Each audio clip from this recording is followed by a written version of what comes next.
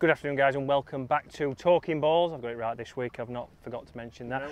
We are talking the brand new Srixon Divide golf ball. You'll see over on James Robinson's channel. I just, I got as close as to a hole in one I've probably Do ever got. send that shot over so you can show them You can now? send it over and I'll put it back on It there. was a great golf shot. It was. So this year could be the year. But guys, we're doing a little bit of short game and I wanted to talk about how we can practice with these golf balls, how you can improve by even just buying one sleeve of these golf balls. So first of all, we're going to be talking bump and runs a lot. Again, it's a shot that a lot of people use from amateurs to tour professionals. And again, this kind of shot is the one that maybe people don't practice, but we can practice it and start to see what our club face is Put in the doing. I know, tell me about it. So what we can do here guys is play a bump and run, line the ball up straight towards our target and start to see if you are cutting across the ball or if we're drawing the ball. We're going to be able to start to see what kind of spin axis we are putting onto that. So setup wise guys for this, I have got a pitching wedge here. So it doesn't have to be an 8 iron. Again, here we could have used my favourite new club, the new 7 wood. But we can still go with the pitching wedge, get a little bit of loft to get us over this thicker fringe here and then get the ball releasing. So close to the ball, shaft a little bit taller, ball position back. Why is the shaft taller? Because I know this massively helps if you struggle with striking chips, but a lot of people don't do it. Yeah, again, this encourages the bounce on the toe to interact with the ground. It's taking the leading edge away from the ground a little bit. So a lot of people have it flat, have it forwards, and all that does is encourage you to dig here. It digs in. We're going to use a little bit more bounce on the toe. I've got the setup right now, but we'll see if I cut across this, which we see from a lot of people, the club works out here. We cut across. We can see that ball has worked. Don't get me wrong, it's done a good job. You'd be more than happy with that You can see it spinning off its axis though. but it's pulled left, it's had some spin on, we have no control on direction there, and we don't know how it's going to react. If I do the opposite and my club now works a long way in, which is another trait we see from amateurs and then works out, we're going to get the same, and especially with this one, we'll see exactly what that is doing. Too much run. So it runs out too far. We've actually put some draw spin on it. We've put a little bit of top spin on. Very hard to judge. So we want to make it nice and neutral. And this golf ball is going to help you. I'm going to show you how now. So there your practice goes by. There way. my practice goes. So I'm, I'm ahead of the game. Yeah, we'll go from the same place because Chris has had a nice practice. We've had a nice practice. I'm going to give James a little bit of helping hand here because I'm going to show him the drill that you can do to help you get neutral on these shots. The ball's going to give you feedback. So let's get it lined up. We're going to use a golf club here just behind that. And as I take my club away, we want to see when I've taken that away, in my eye line, I'm now covering the face of that brand new Mizuno wedge. So, it's You're gonna- the gift that keeps on giving, Chris. so we're going to get around about a size 9 away, Yeah. UK size 9. And then from there, we're going to be able to keep that club a little bit more out in front of us there, covering that nice and neutral, nice and tall. You'll see Lovely spin. neutral spin. Stop it. Oh, it's still on its axis as well. It's still on the axis, it rolls straight over. Just didn't take that break at the end, but practice makes perfect. James, I'm going to help you leave the club in. Thanks, mate. but you've not had the practice shots that I've had. So, in James comes. So, James what does it break? didn't break much, so you can aim a little bit further right. Oh, James doesn't need the club. He's above it. Straight in. Can he beat it?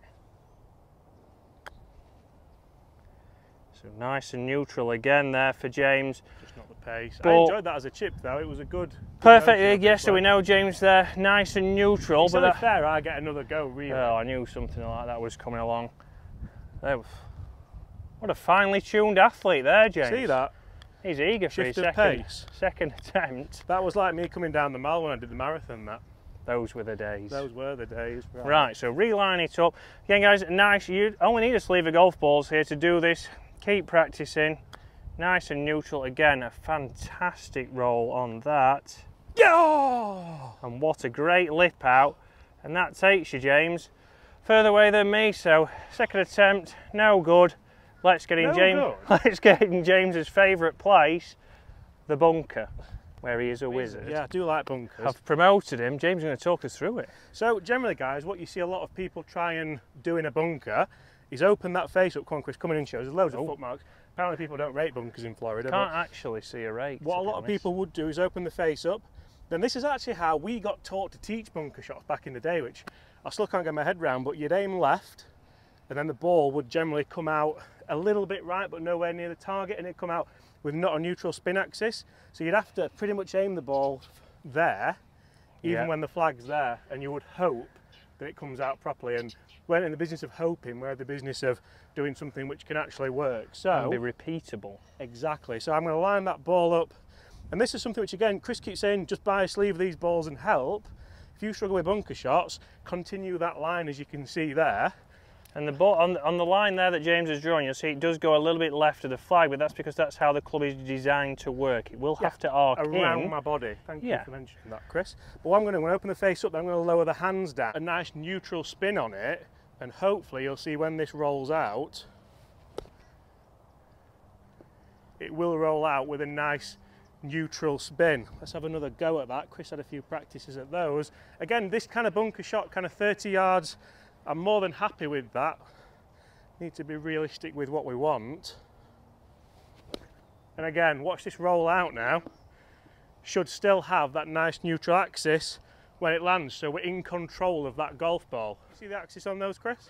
Yeah, we could see that. So nice, and oh, I've just kicked the camera, but some nice spin on there. You saw on the second shot. Certainly stopped quick from a nice high parachuting bunker shot. Now for the competition. Oh, he's brought it for the competition. You, I, that's still rolling, isn't it? Nicely. That's a fantastic shot. So very neutral there, as we'd expect. Good, two well, two good shots. Two good shots with the new Mizuno wedges.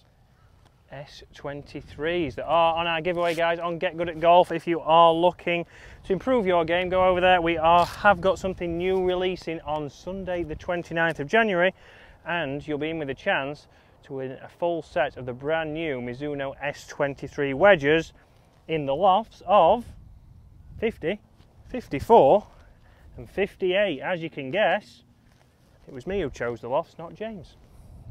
You're not getting closer than that. I've just had a practice swing in there. I do apologise, everyone, but can't do that. Right, let's have a look.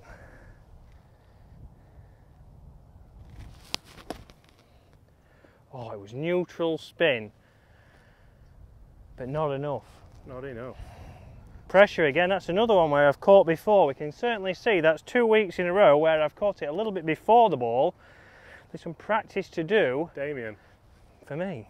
Right, so final thing we can do with these Srixon Divide golf balls. Well, it's not the final thing we can do, but You can do anything with them. we can do anything with them, including losing them, but we haven't lost them yet. We've not lost one yet. So we're going to be talking now about lining puts up. So this is a distance here that everybody hates, even your tour pros. We've got three feet here.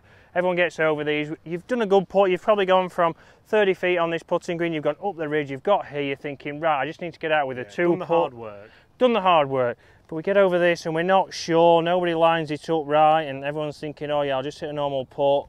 Oh, I've missed it.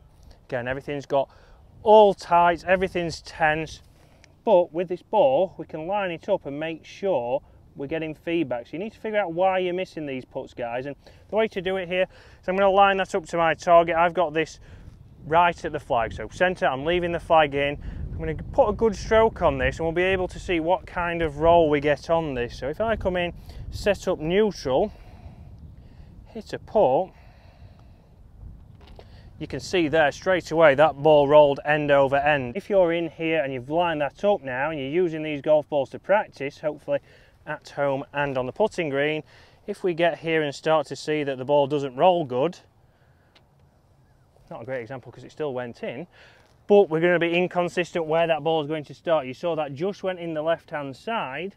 If that's got any any kind of break on there, we're not going to hold it. We can see straight away I've cut across the ball, so you can start to get down there and think, right, I need to work on that, so I need to get the ball lined up.